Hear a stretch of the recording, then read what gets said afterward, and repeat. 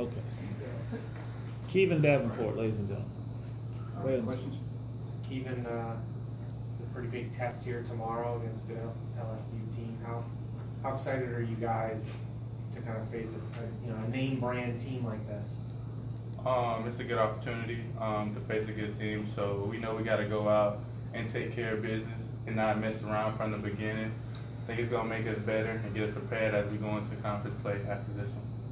What is it that you've seen? Have you had a chance to look at LSU and uh, see a little bit about what they do? What do they do? Um, yeah, so I'm really long on defense, so you really got to take care of the ball. A long, active team, so pump fakes and getting the ball inside and out is a major thing because they run off of turnovers. So basically, take care of the ball is one of the major keys we need.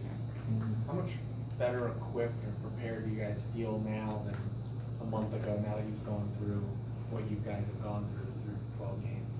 But now um, we're more comfortable with each other, so now we know what we need to do, and we be practicing it. So all of us need to just stay focused and keep working on that practice, and uh, we'll be ready. Does it add any motivation with you know you've been playing the Samfords and the Mercers and the this is and the that's and now you got a team that does have you know a name in LSU and they, they have some history in the NCAA. Uh, does that add any extra motivation for you? Um, I think it will motivate some of my teammates, make them come out harder, because I believe when we play teams that are not big name brand, they come out thinking we're going to beat them by 40 and not give it all from the beginning. But I think with, with us playing a bigger team, I think everybody's going to go out and give it their all from the get go.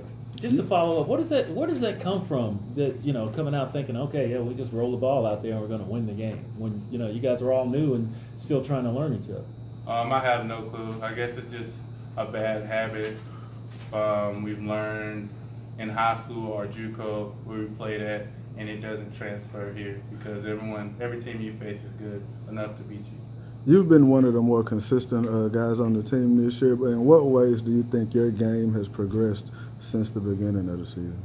Um, I think in knocking down more shots on the offensive side, open shots, and on um, the defensive side, um, contesting more shots. I think it get um, help get deflections on the team and um, help protect the rim and take charges. And I think that's a major key because we capitalize off turnovers from the other team. You've got a ton of blocks over the last three, four, five games. What what got you going there? How how, how have you able to kind of get your timing going on that? He's tall.